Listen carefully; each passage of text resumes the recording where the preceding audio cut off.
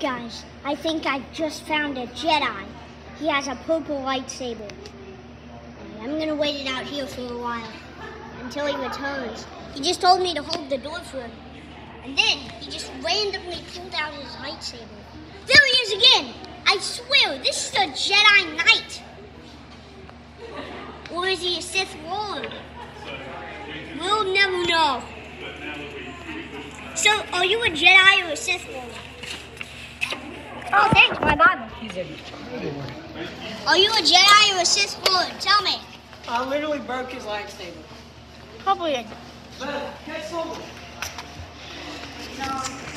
Are you Ma- Are you Mace Windu?